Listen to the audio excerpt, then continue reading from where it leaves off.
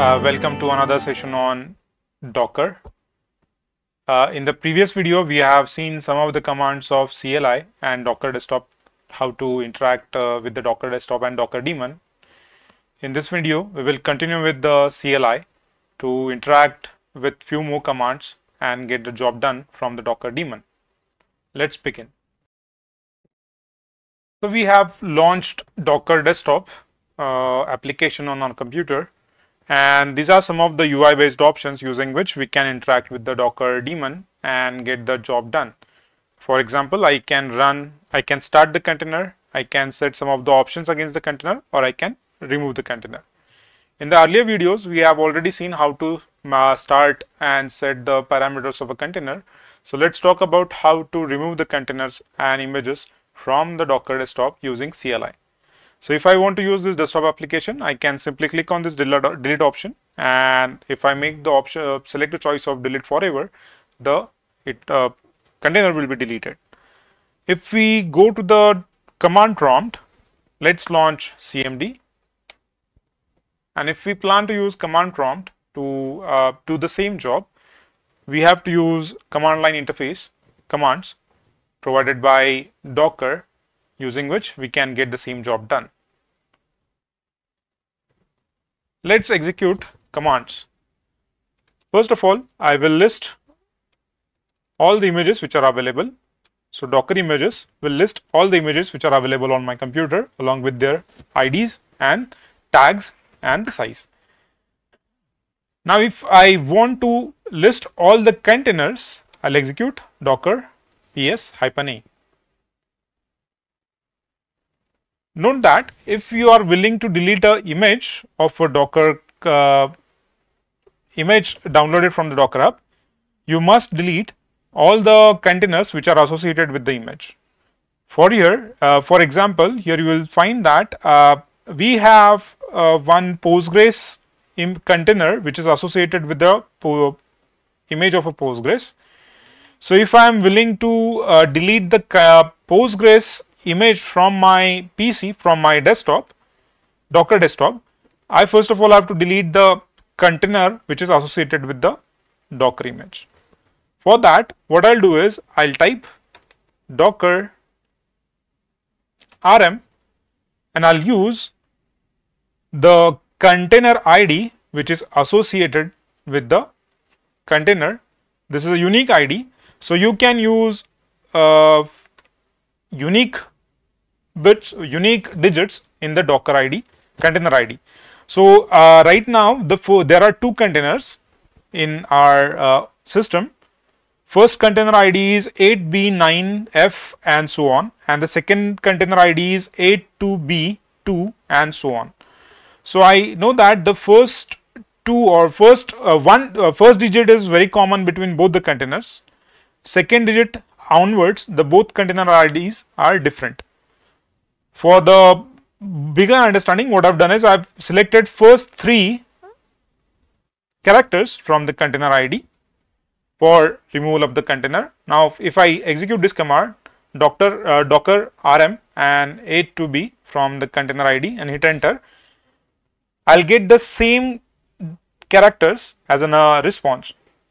It means that the respective container is removed from the system. Now if I execute docker ps hyphen a, we have only one container which is against the Postgres. Let's try to remove the container which is remaining. What I can do now is I'll simply type docker rm and 8. As there is only one container and it is starting with digit 8, system will have no problem in identifying which container I am talking about and which container I am willing to delete. Let's hit enter. Now if I type docker ps hyphen a, it tells me that there is no container available on my computer. Let's list images. I have three images with me. One is of Python, one is of HTTPD and one is of Postgres. Now we have deleted all the containers which we have created against the Postgres.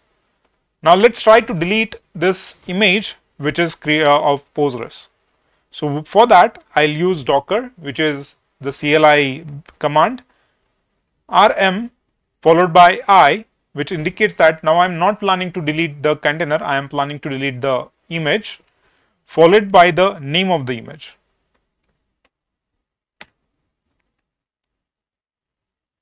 So you get a response and it has deleted everything which is associated with this image. Let's clear the screen and list images again. Here you find that the Postgres is no longer listed in our options. This is how you will be able to uh, interact with the Docker daemon to remove the images and remove the containers from your system. Now we do not have any container running. So Docker PS, no container is running as well as there is no halted or stopped container on the system. We do have two images and now using either using the desktop utility or using the command prompt utility, we will be able to launch a container against it. Let's try. Let's say docker run httpd. So this is the container. Hyphen e, I'll use hyphen e to assign a port I'll say 3000 colon 80. What we are doing is we are telling that uh, assign port 3000 and direct it to the port number 80 of inside the container and for the external uh, world for the OS for the local host the port to interact with the docker service will be 3000. Let's hit enter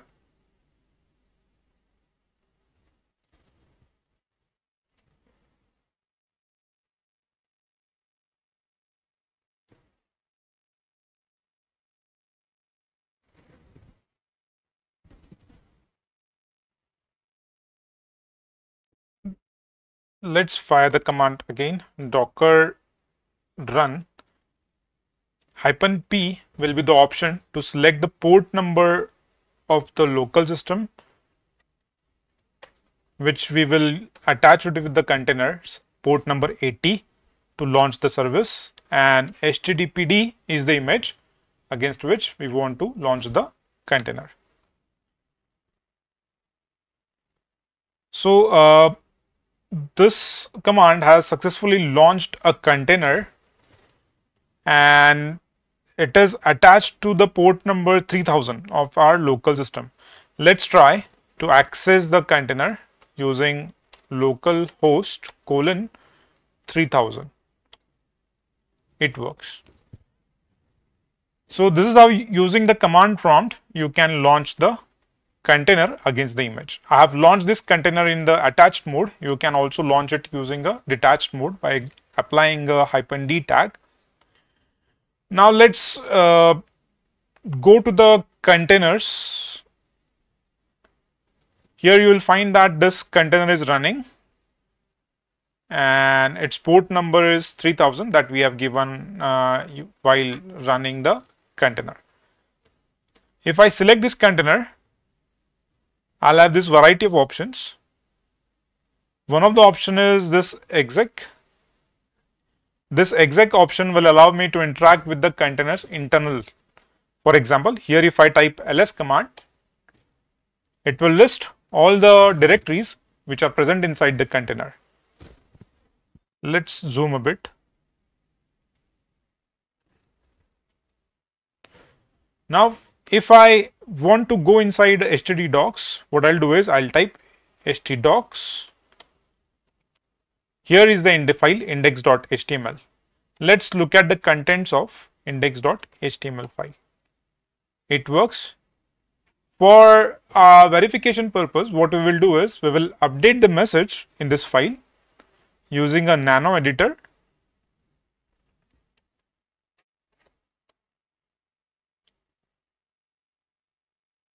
let's install nano editor as it is not available on the system.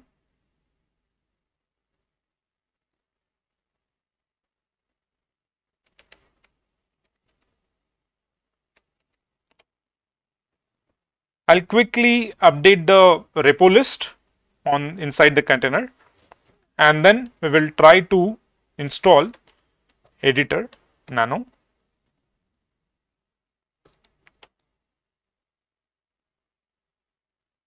Now this editor is installed inside the container using which we will be able to edit the file index.html. Here we will type the name of our institute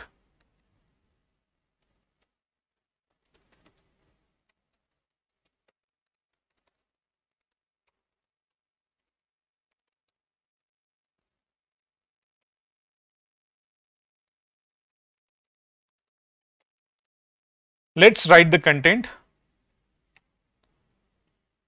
and let's refresh the URL and let's see whether the effects are taking place or not. So here whatever modifications we are doing inside the container are reflected in the browser.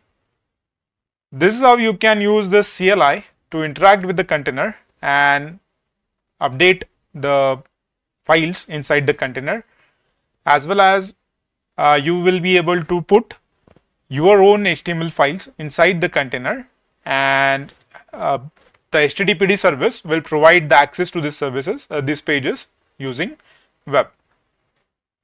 I hope you got this contents. In the next video, we will see few more facilities using uh, CLI as well as uh, GUI of Docker Desktop. Thank you.